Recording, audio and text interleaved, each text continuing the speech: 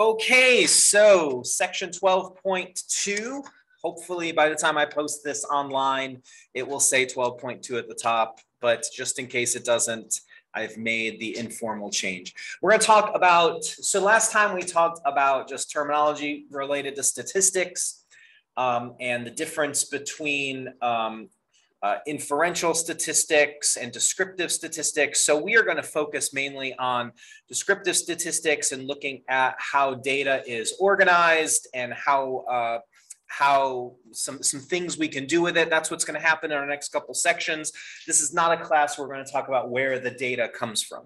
So first example up at the top, because this section is titled frequency distributions and statistical graphs. So frequency distribution is a way to organize data that has been given. Um, if you take statistics, you'll talk in a, a, lot more depth about this. So we are just doing a really fast flyby. So the following set of data represents the family income in thousands of dollars of 15 randomly selected families. And there's the data right there in no particular order. And so what we're gonna do is we're gonna construct a frequency distribution with a first class of 31.5 to 37.6. Okay. So when you actually take a statistics class, you will learn how to make your classes, uh, how uh, where that comes from. In this class, you will be given that information. Okay, but just know that that comes from somewhere. That's part of the design of the structure. But for now, here's what I would like you to know. In this class, okay, the 31.5, the 31.5 is called the lower class limit. Some books will call it the class boundary. Uh, our book calls it the class limit. So that's the lower class limit. And then the 37.6 is the upper class limit.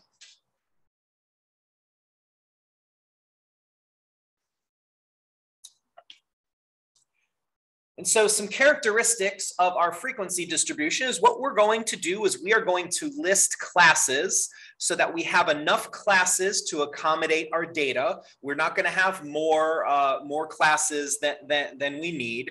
And a couple things about the class limits is the class, uh, excuse me, the classes, couple things about the classes is the classes do not overlap.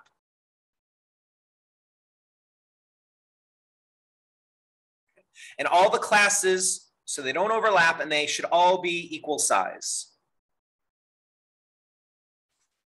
So we have to have a methodology to construct our classes, and that's going to be the first thing that, that we talk about. Okay, so uh, what we're going to do is we're going to make a couple columns here. I'm going to make a column for income, which is what our data represents. And then I'm going to make a column for frequency, meaning how many times does something fall in that class.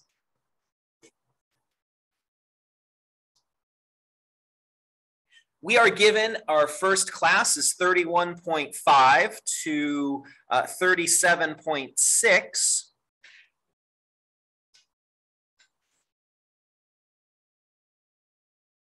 So then the question is, okay, how do I get the rest of my classes? Okay, and that's a great question. So I've already told you that our classes cannot overlap. They're all going to have the same size. So the first thing is they don't overlap. Well, if 31.5 is this lower class limit and 37.6 is the upper, what would you guess? Okay, just make a guess. If you're right, great. If you're wrong, it's no big deal. We're here to learn. What would you guess is the next lower class limit if things are not going to overlap? 37.7, that is a great guess because we notice that all of my data here is to the tenths.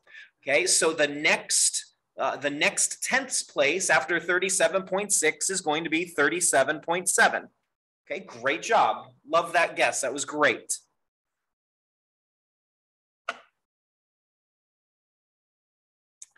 Now, now that we have that bit of information, we can calculate something that's going to be a very good uh, piece of data for us. We are going to calculate using these lower, these two lower limits, we're going to calculate what's called the class width. Meaning how far apart is my class width? Now I'm going to define the class width because this is something I want us all to be crystal clear on. This is probably the only thing that students in my classes ever stumble across when, when I ask you to make a frequency distribution on the test. The class width is the difference between two consecutive lower limits or two consecutive upper limits. Yes. I'm going to give you a moment to write. Mm -hmm. I'm going to give you a moment to write that down, and then I'm going to tell you what the class width is not. And this is where sometimes students stumble when they are in this section.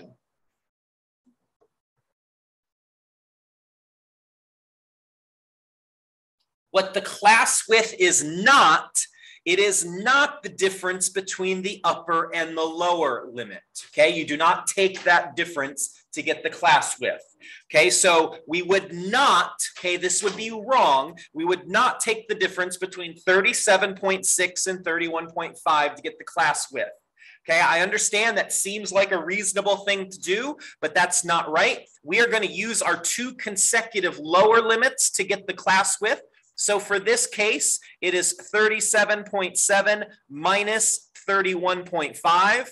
And whatever that is, I'm just going to pull out my calculator here, 37.7 minus 31.5. You can be doing the same thing. That's 6.2.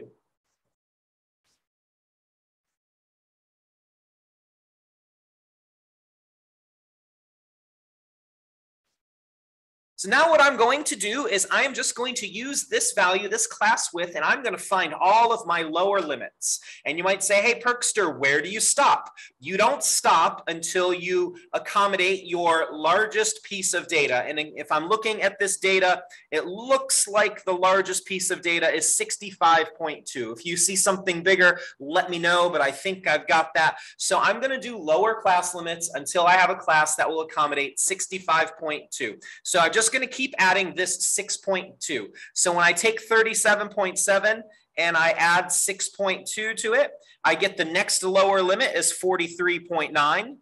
Okay, I'm going to keep going. 43.9 is not bigger than 65.2. So I'm going to add another 6.2 to that, and I get 50.1. Again, 50.1 is not bigger than my largest piece of data, so I'm going to do it again. Uh, whoops hit the wrong button on my calculator. So pausing, pausing, pausing. So now plus 6.2, I get 56.3.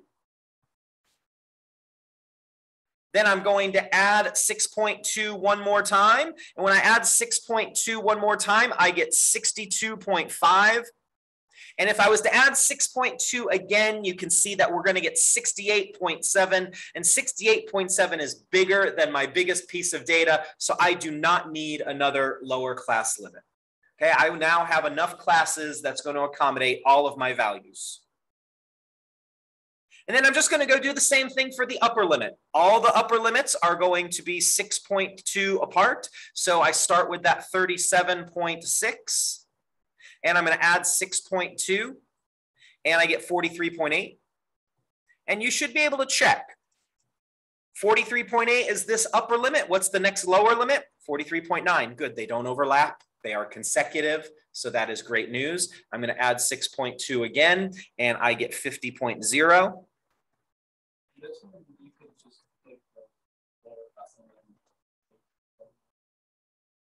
All right, so now you're complicating things though. So I wouldn't do that because then the tendency, and this is where students make mistakes, is they they'll just add. You cannot just add 6.2 to the lower limit to get the upper. And so then if you're thinking, oh, I can just take a little bit away, now now you're adding, I think, more to the process. So then the next one I add 6.2 is 56.2.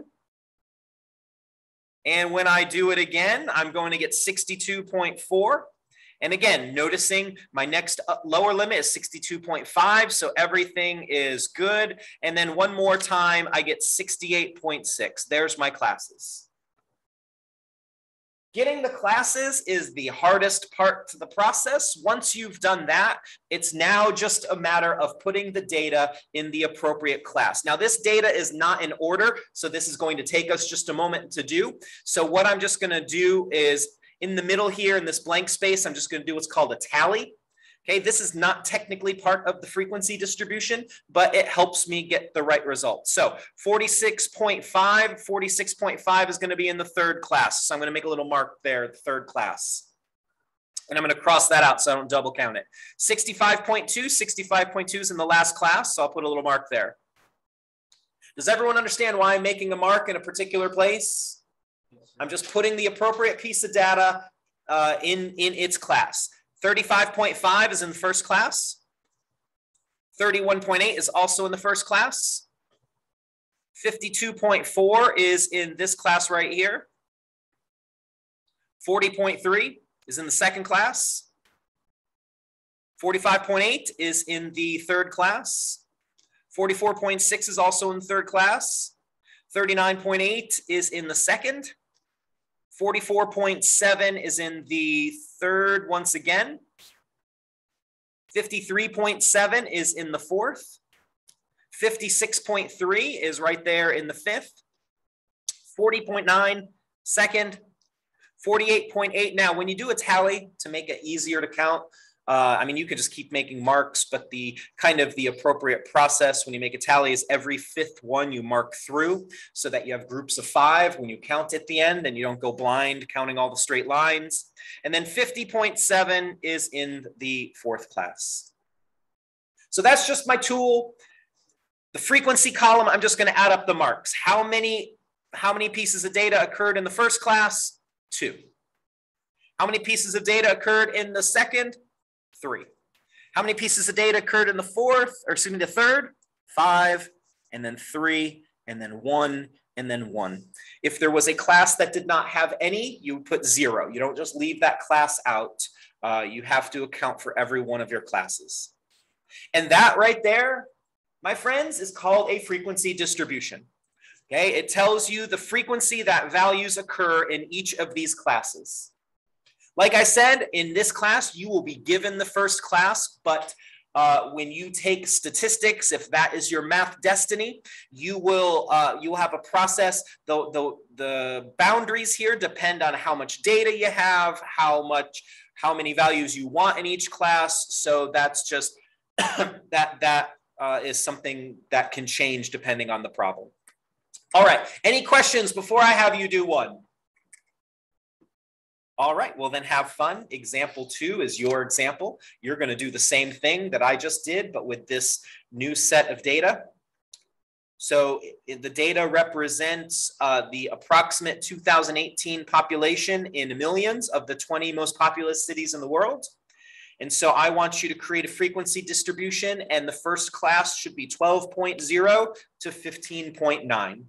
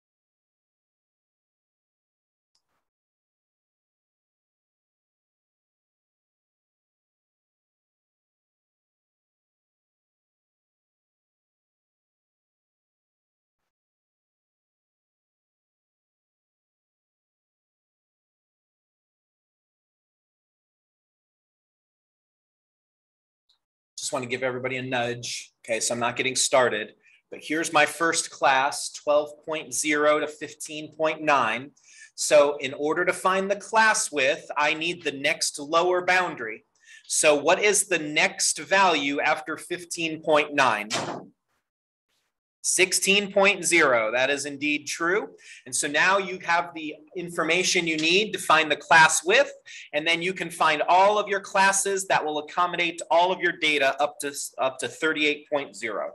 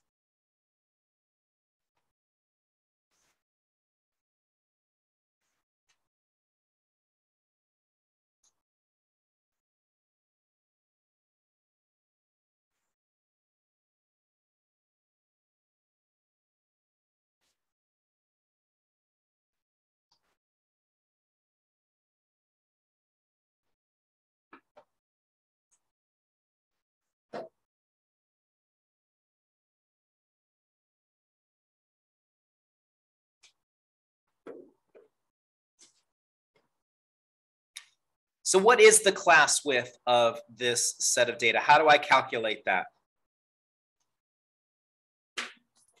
Right, it's the 16.0 minus the 12.0. Okay, I'm just going to repeat the definition. Your class width is the difference between either two consecutive lower limits or two consecutive upper. Well, I have two consecutive lowers, so I will subtract those and that becomes 4.0.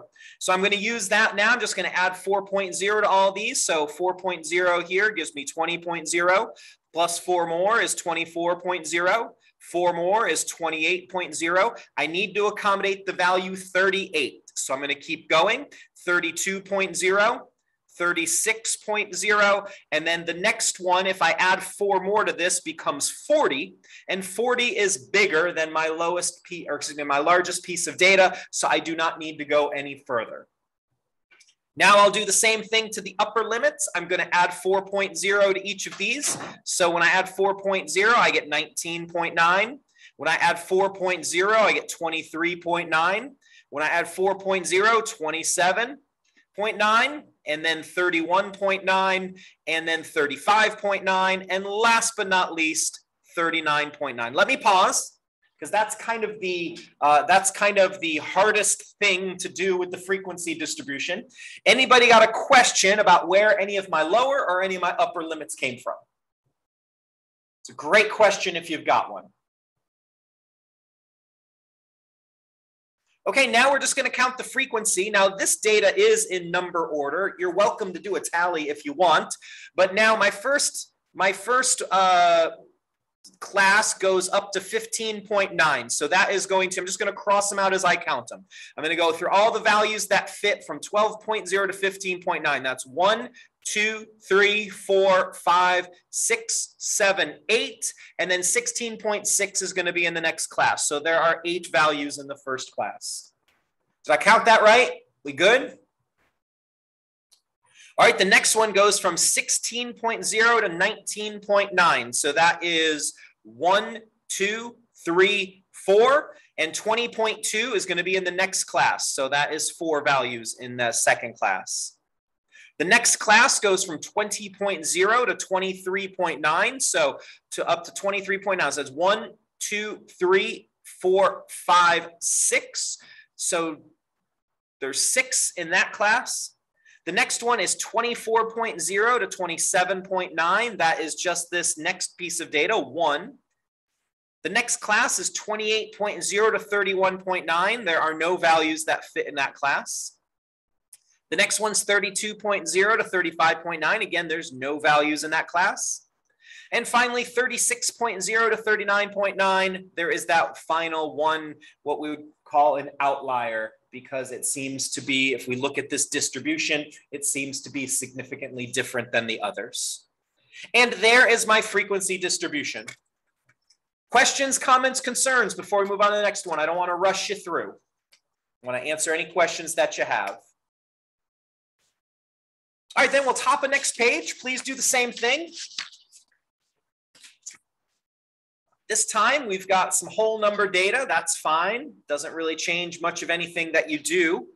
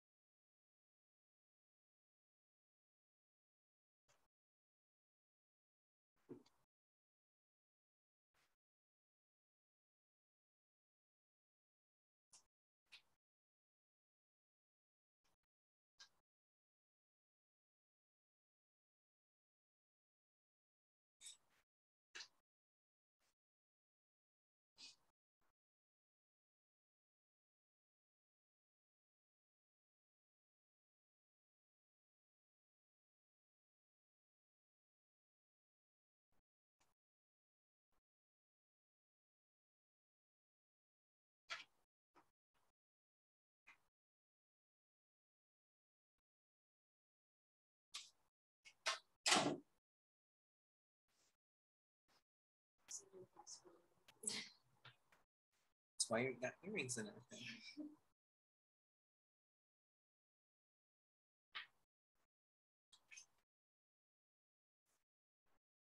Just to give everyone a nudge, make sure we're doing the right thing. Uh, we're asked to do a frequency distribution. The first class is 42 to 47. All of my data is whole numbers. There's not a decimal to be seen. So what is going to be the next lower limit of this, uh, of my classes? 48, there you go. It's the next whole number up, 48. So use that if you haven't already. Uh, use that to figure out what your class width is.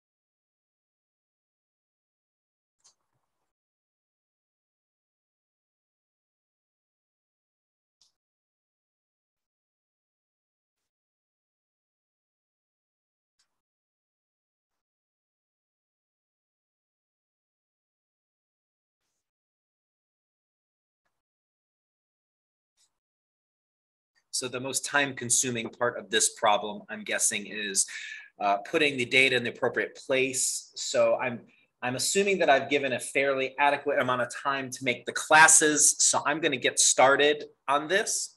So what we've got here is an initial class of 42 to 47 that was given to us. So in order to figure out the class width, I need the next lower limit. So the number that comes after 47 is 48.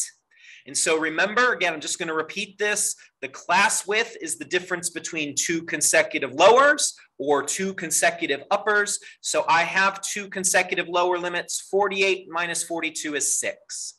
My largest piece of data, the oldest person in this, I think, is that 69. Do we see any uh, in the 70s here?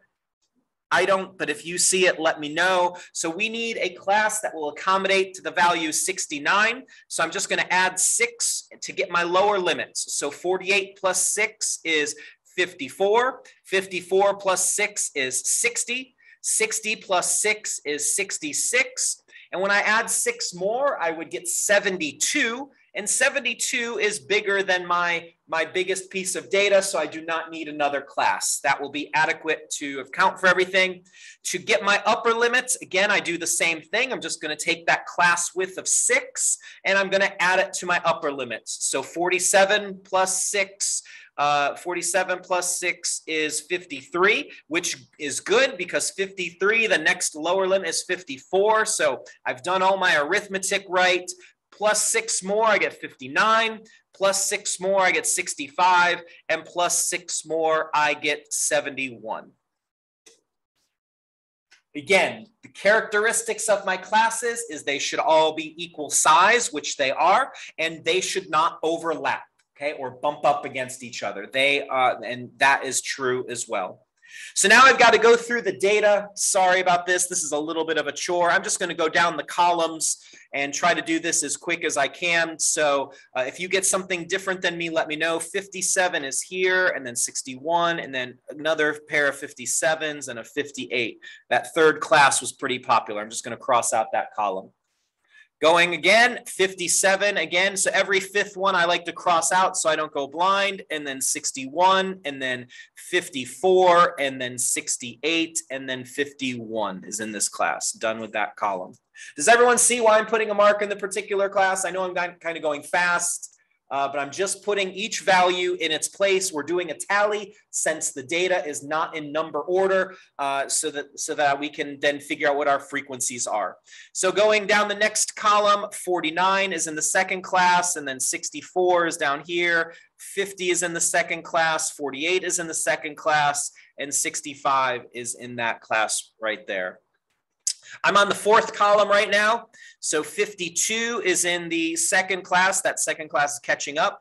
And then 56 is in the third, 46, and then 54, and then 49. That's the fourth column. The fifth column, we've got 50 and 47 is in the first. 55 is in the third, another 55 and a 54. That middle one is the most popular class so far.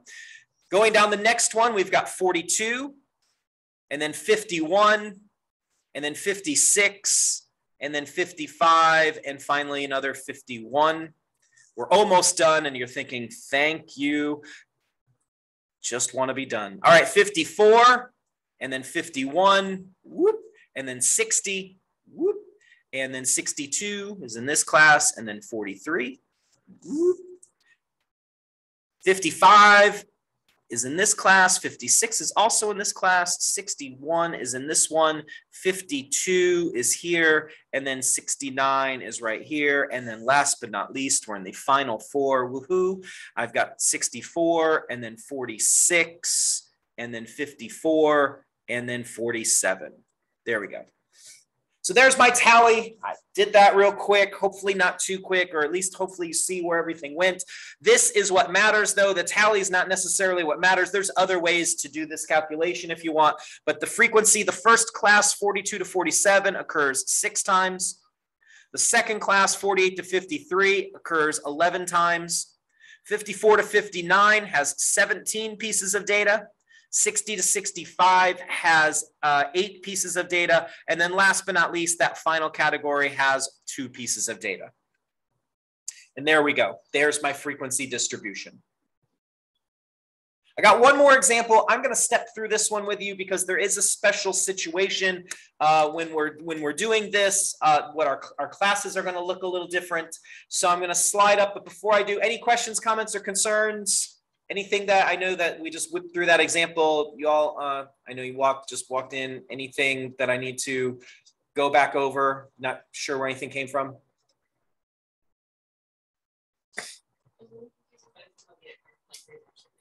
Okay, yeah, it's, this is not the, a super difficult process uh, if, if you get it from the beginning. Anybody else? Anybody got anything?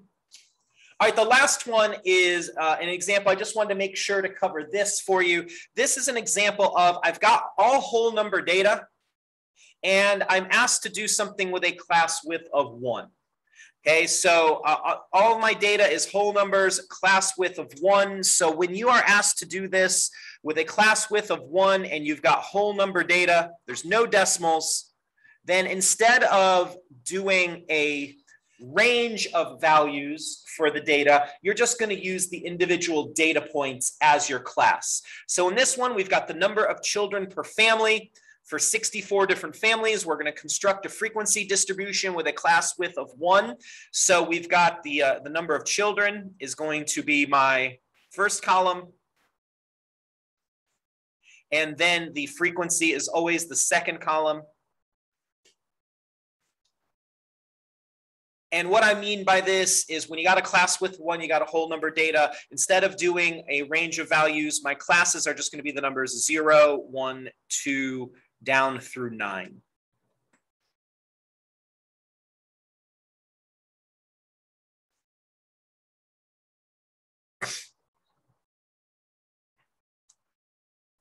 So I don't need to do like zero to 0.9 or anything like that because there's no decimals. Uh, so that would just be overkill. So again, this data is in order. That's good. So I'm just going to count up the number of, of people who had this many children in each class. So we start off with the zeros, and there's one, two, three, four, five, six, seven, eight of those.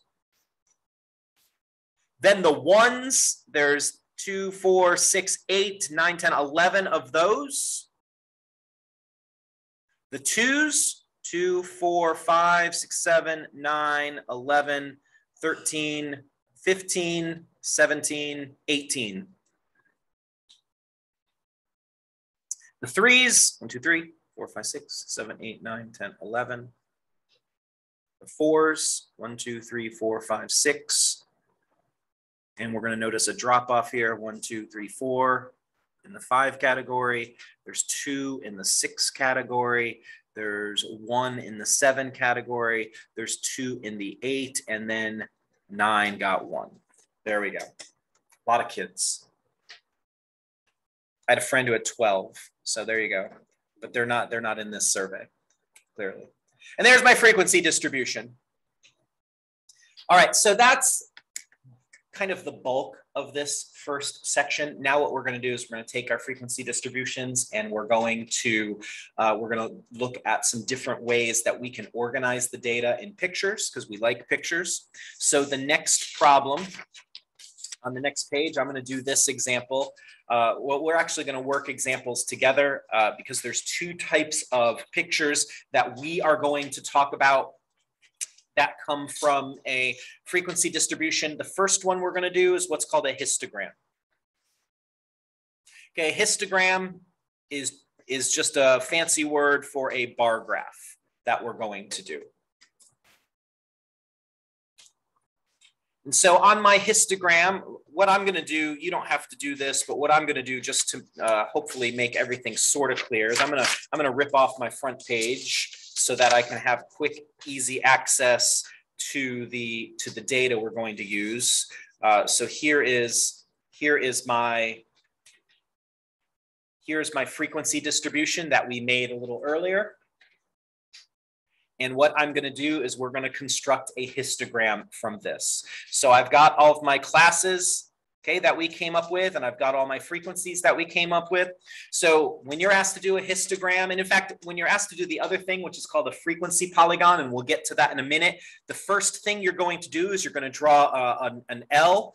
This is going to be your y-axis and your x-axis. So I'm going to draw a nice big L right there.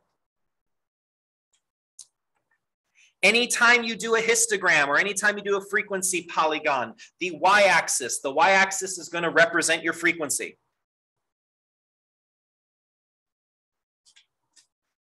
Your x-axis is going to represent whatever it is that the data represented. And in this case, it was income.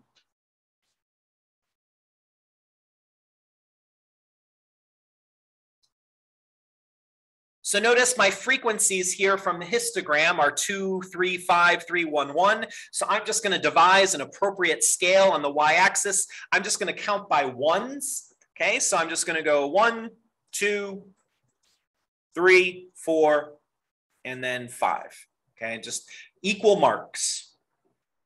Remember, we talked very briefly about uh, what makes a graph good? What makes a graph good is you start your y-axis at zero, you have equal spaces. So if, if you have uh, something with large frequencies and you want to count by twos or fives or tens, just make sure you do that the whole way. Don't start off counting by ones and then switch to fives when you're running out of room. Okay, you do all of one thing. I have in my frequency distribution, I have one, two, three, four, five, six classes. So what I'm going to do is down here on my, on my x-axis, I'm going to make six marks. One, two, three, four, five, six equally spaced marks.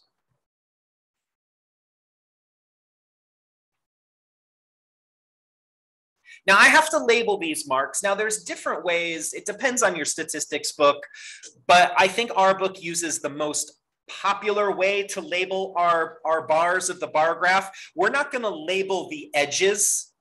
What we're going to do is we're going to label the middle. Okay. And what we're going to do, this is called the class mark. It's also sometimes called the class midpoint. Doesn't matter what terminology you use, the class mark or the class midpoint. And what you do to get your class mark or your class midpoint is you add up the lower bound plus the upper bound and divide by two. You're just getting the average of the lower and the upper. So for my first, my first uh, class, it was 31.5 was the lower. The upper was 37.6. And then I'm going to divide by two. So I'm going to go to my calculator. I've got 31.5 plus 37.6. I'm going to divide that by 2, and I get 34.55. So I'm going to label this first mark 34.55. You're allowed to go one extra decimal place than your, than your data. That's kind of a common practice. So you don't round that to 34.6. You don't truncate it to 34.5.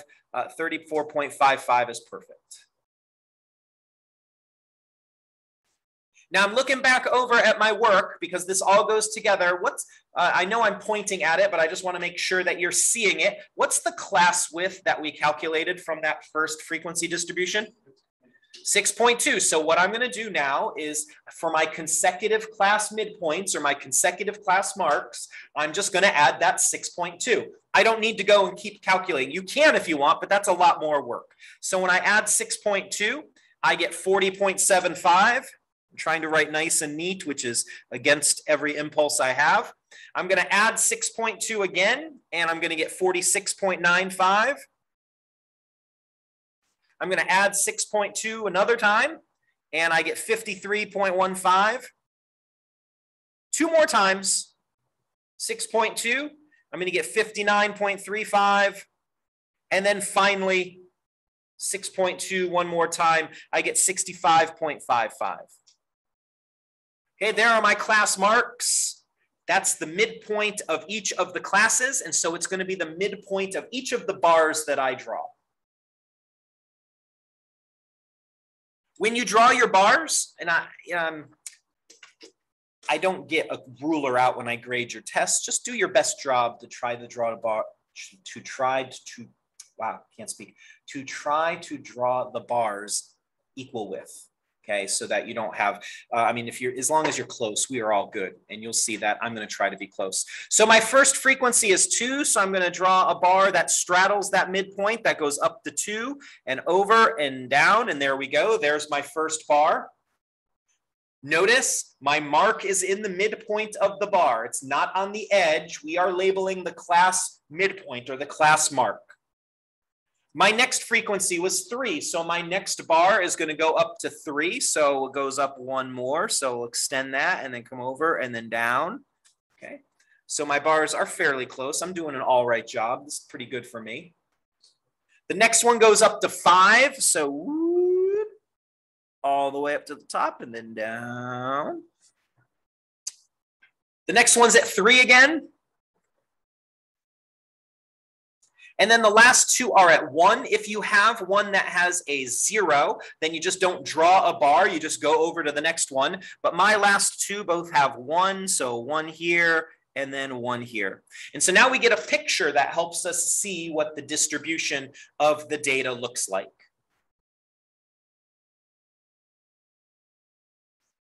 So here's what I would like you to do before we talk about what a frequency polygon is. I would like you to do the same thing for example six, except this time we are using the uh, frequency distribution we made in example two. So for those of you who walked in after, here's that distribution. Uh, I'm trying to get everything on the screen and I think I've got it. So you can just use that distribution and make your, make your histogram and get the rest later.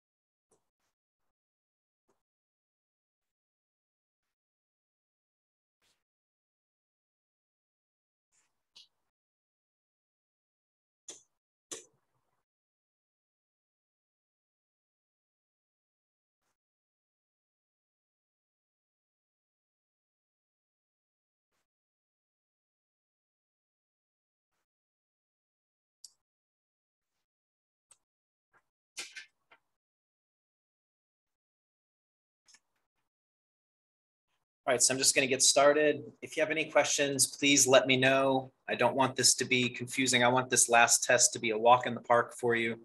So I've made my L. The y-axis is always the frequency. My x-axis in this case is population. That's what we were measuring in this one. My, my classes go up to a high frequency of eight. So I just counted by ones again up to eight. And then my first class mark, since I have seven classes, my first class mark, I calculated right here, 12.0 plus 15.9, that's the lower, the lower limit plus the upper limit divided by two. And that turns out to be 13.95. And you can see I put a 13.95 right there. My class width, now you can go and keep doing that calculation. You could get the class mark for the second one by doing 16.0 plus 19.9 divided by 2. I just think that's a lot of work. So alternatively, I'm just going to take the class width of 4.0 and I'm going to add that repeatedly. So here we go. I'm going to add 4.0. So when I do that, I've got 17.95. When I do it again, 21.95. One more time, 25.95, should have left myself a little more room. 29.95, 33.95, and then 37.95. And there's my class marks. Last thing I'm going to do is draw my bars. My bars are going to straddle each of those marks because those marks should be in the midpoint of each of the classes. So the first one has a frequency of eight. So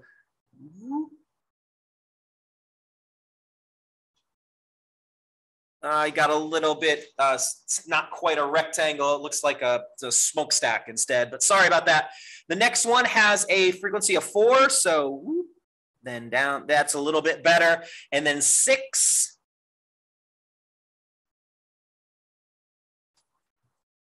And then one. The next two are zero, so you don't do anything. And then finally, the last one is one. So out here, pop up, we got one right there. And that is my, uh, that is my histogram. Histogram is a bar graph that represents the data in a frequency distribution. The other picture from a frequency distribution we're going to talk about is called a frequency polygon. Uh, does everyone have what they need from this? Any information that you didn't quite get? Any questions that you have before I move on? All right, get it. Yeah.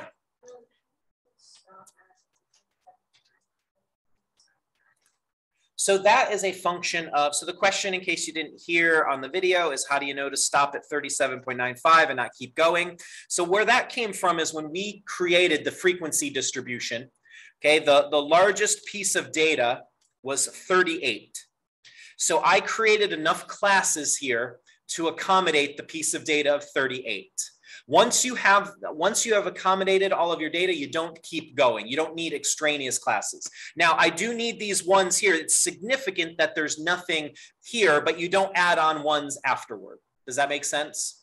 So what happened is we ended up with seven classes. So that's why I made seven marks over here.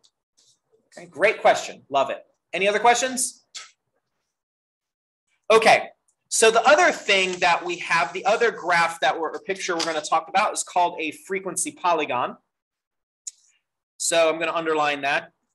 Here's what you do with a frequency polygon. The nice thing is there's not a whole lot of new information. Once you know how to do a histogram, uh, you know how to do a frequency polygon pretty much and vice versa. I'm going to do the same thing. I'm going to draw my big L On a frequency polygon, again, the y-axis is my frequency. My x-axis is whatever we're measuring, which in this case was income. I'm going to do my, I'm going to count by ones up here because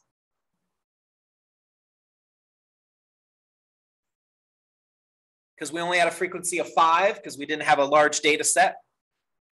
We had six classes, so I'm going to make six marks again. One, two, three, four, five, six. Notice everything is exactly the same. So it's all the same startup. I'm going to label these as the class mark, just like I did before. So we've already done all that calculating. So 34.55, 40.75, 46.95. I'm just copying down what I have right next door, 53.15, 59.35, and then the last one is 65.35. Now here's where we become different. So I'm going to give you a minute to catch up doing all of the uh, all of the structure work on the outside.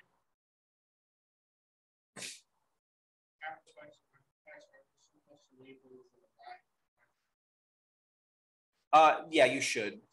You should. Now, instead of drawing a bar above each class mark, here's what you do. You draw a dot, or I guess you just, do you draw a dot? You make a dot, whatever you do to make a dot. So 34.55, we saw that that occurred with a frequency of two, so I'm just gonna make a dot right above that. 40.75, that occurred with frequency three, so I'm gonna make a dot. 46.95 occurred with a frequency of five, so I'm gonna make a dot. 53.15 occurred with a frequency of three. And then the last two classes occurred with frequency one. If you have a class that occurs with frequency zero, you make your dot right there on the x-axis. And then you do two things. The intuitive thing is I'm going to connect the dots. So it's like we're in kindergarten again. So dot, dot. It's not going to make any sort of cool face or picture or anything. Okay, so there we go.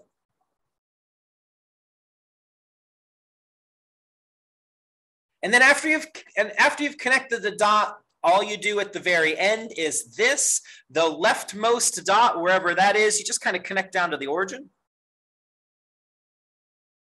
And the rightmost dot, you just kind of connect to an equidistant space on the x-axis. You don't make a dot or anything, you just you just draw it down in. And that makes it a polygon. Remember, we defined a polygon a couple units ago as a closed figure. So that is now a closed figure you could calc the reason you do that is now you could calculate the area of it uh, and there's in statistics significance uh, when you calculate the area in different portions. It also leads to probability things like that. We're not talking about that here. I'm just letting you know why we close off the ends of the frequency polygon. So what I would like you to do, please, is in example six, I'd like you to construct a frequency polygon for that right there.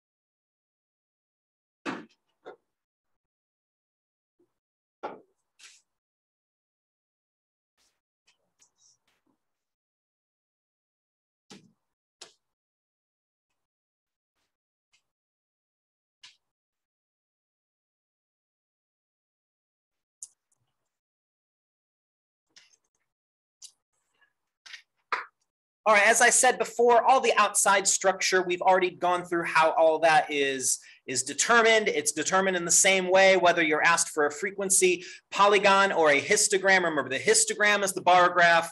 The frequency polygon is the line graph that we connect the edges. So now I'm going to make my dots. The first class occurred with a frequency of eight. The next class occurred frequency of four. The next one was a frequency of six. Then the next one was a frequency of is that one or two? I don't remember. One. Next one occurs with a frequency of one. And then the next two are a frequency of zero. So I make my dots right down there on the axis. And then the last one was a frequency of one. So first thing I'm going to do is I'm going to connect the dots. Whoop, whoop, whoop. There we go. Dots are connected. The leftmost dot, wherever it is, you just connect with a straight line down to the origin. The rightmost dot, you just connect with a line that goes kind of equidistant. Don't make a dot on the axis because it's there's no class there. Uh, we're just closing off the polygon. Seem reasonable? It seems reasonable to me. So there we go. All right, so that's our frequency distribution. That's the graphs associated with the frequency distribution. We just got uh, a couple more little things to go. We got just enough time. We're doing great. The next thing, example seven, is okay, let's say I don't want to construct a frequency distribution, but I still want to kind of get a picture to the distribution of my data. So here, what we got in this table is the ages of a sample of 20 guests who stayed at a bed and breakfast. What we're going to construct is what's called a stem and leaf display. Stem and leaf display. Okay, in a stem and leaf display, what you do is this. Whatever the last digit in your data is, those become the leaves. Okay, so the last digit. So I've just got two digits here. I've got a tens place and a ones place. The ones place are going to be my leaves, and whatever's in the tens place is my stem. So let me just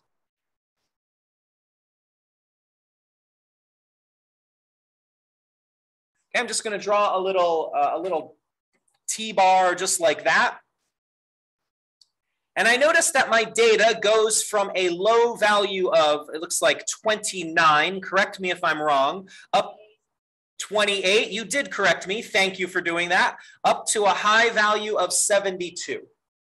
So what that means is my stems are going to look like this. I'm going to put a stem for two for all of my data in the 20s, a stem of three for all my data in the 30s, and four for the 40s, five for the 50s, six for the 60s, seven for the 70s.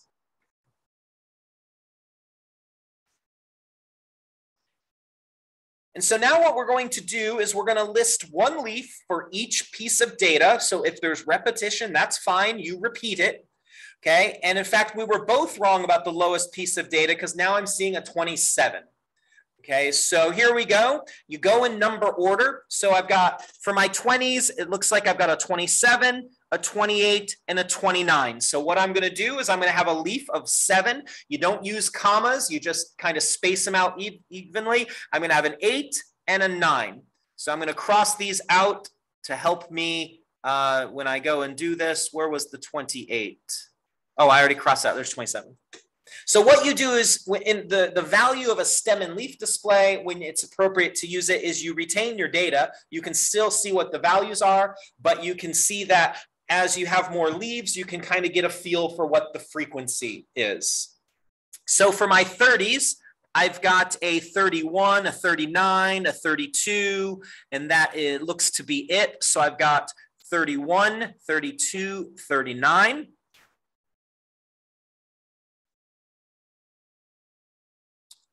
For my 40s, I've got a 43, a 47, and two 40 or two 44s and a 45. So I've got a 43. I've got two 44s, so I will put the number four twice. You do repeat. I've got a 45, and then I've got a 47. Trying to be careful not to miss anything because I'm working in pen and can't erase. For the 50s, I've got 56, 58, 59, I've got 50. So I'm going to start off with a zero for the 50. And then I've got 56, 58, and 59. So six, eight, nine. 60s, I've got a zero. Let's put that down. There's nothing lower than 60. Then I've got a 62 and a 68. I think that's all. And then last but not least, in the 70s, I've got a 71 and a 72. And we're done. That's, a, that's called a stem and leaf display. So you kind of still get the feeling for frequency. You can see which one occurs more than others and what occurs less. All right, flip the page. I'm going to give you just a minute or two. Example eight is the same thing. Construct your own stem and leaf display. 18 students in a geology class were asked how many college credits they had earned. Construct a stem and leaf display for this data.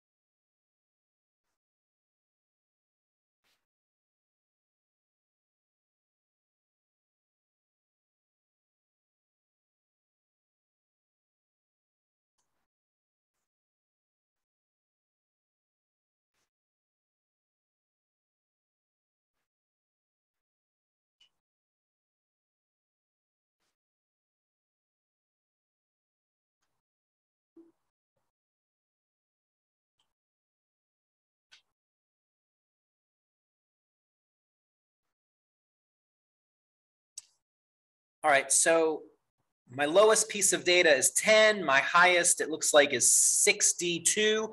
So my stems are gonna go from one to six. Just as a bit of trivia, in case this happens on your homework, let's say you're doing this problem and somebody in the class only had earned four credits. They weren't in double digits. What do you think the stem would be for somebody with four credits? Yeah, zero. Excellent. No tens. So zero. I'm sorry? Yeah, so again, like our uh, like our uh, frequency distribution, you would include any skips, but you don't include anything after. So I don't have any sevens or eights or nines here. But if we do not have any in the fours, we would leave it and we would just have nothing there. Okay. All right, here we go. So go with my teens, I've got 10 and 15 and 17. So there's three values right there. My 20s, I've got 24, and it looks like that's the only one. The 30s, I've got 36 and 30 and 33. Uh, so 30 and 33 and 36. There's two 24s. Oh, yes, there is. Thank you for having better eyes than me. I appreciate that. 40s, I've got 42, 48, 45, another 45, another 48. So I've got two. I've got a pair of 45s and a pair of 48s. 50s, I've got 53 and 54. And then 60s, I've got three, or excuse me, two 60s and a 62. Lots of credits. And there we go. There's no question about the stem and leaves. Uh, we're going to roar to the finish line. The last couple questions that I have are just now, okay, if you're given something, let's let's read it. So example nine, I've given you uh, I've given you this histogram, and now we are going to answer the questions. We're not going to answer question B just for time's sake. That takes a little more time. And in all honesty, if you're going to take statistics, question B is not that important because you would figure it out uh, before making your histogram. Okay, so question A. What our histogram represents is the annual amount that people are earning in uh, dollars, or no, this is car insurance. The annual amount their car insurance is, and then the number of students who are represented in each category. So how will we calculate how many students were surveyed for this? What are we gonna do? Yeah, we're gonna add up all the bars. So this bar is at two, this one's at four, so that's a total of six. This is six more, so that's a total of 12. Eight makes 20, seven makes 27, three makes 30, and then one makes 31. So there were 31 students. I just added up the tops of all the bars. The C question says, how many students have an annual car insurance premium in the class with mark 752? So how many students were in the 752 class? Six, that's right right here. This is this is the 752. So right where I made that purple line. The D part says, what is the class with the modal, uh, what is the class mark of the modal class? In case you're not familiar, which you probably aren't with the word modal. Modal means most. We're going to talk more about that when we come back on Thursday. So which class mark has the most in it? Yep, 803. So that's dollars. So I'm going to put 803 right there. So if you would do me a favor, we've got two more questions on the last page. Would you please do the same thing for example 10? Only difference is this time I gave you a frequency polygon instead of a histogram.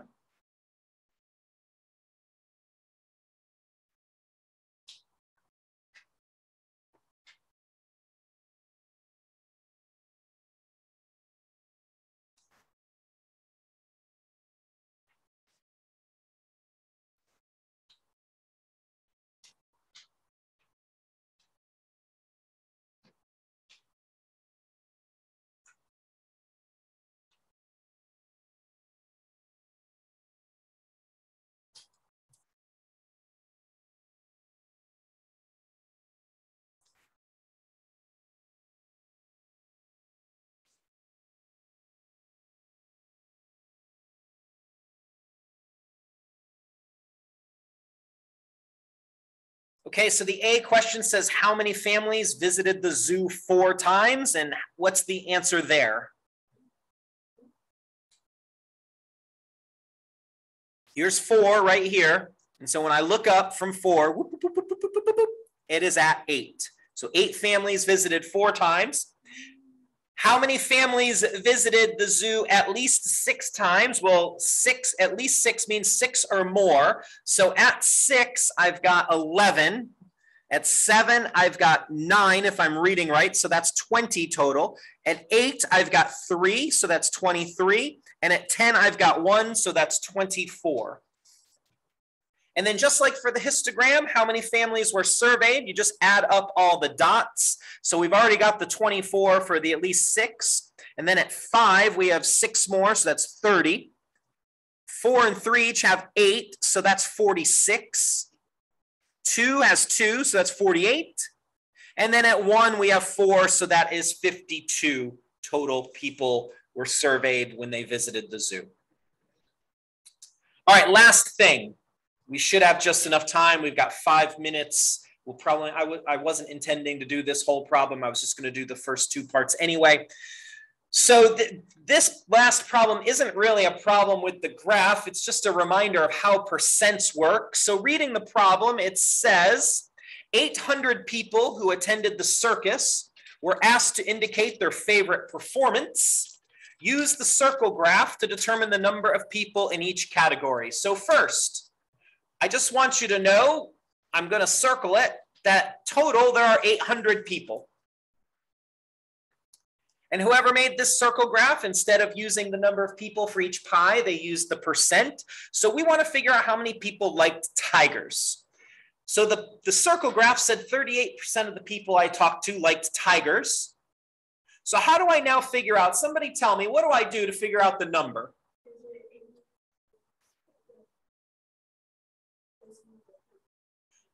Exactly. You take the total, 800, and you multiply it by the decimal associated with the percent, which is going to be 0.38. And when I do that, 800 times 0.38 is equal to 304.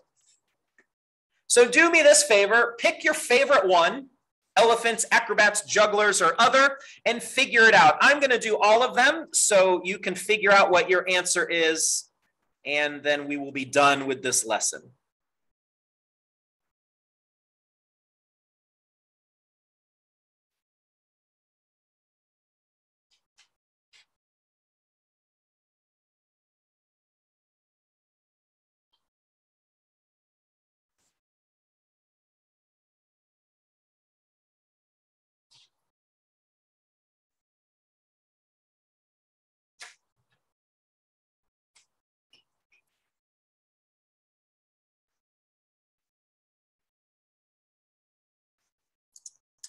All right, so if you picked elephants, you said 800 times 0.26 got you 208. If you pick the acrobats, 800 times 0.17 is 136. Jugglers, 800 times 0.14 is 112. And then other 800 times 0.05 is 40.